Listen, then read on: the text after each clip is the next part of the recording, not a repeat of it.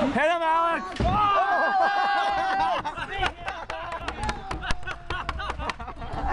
I got it on camera!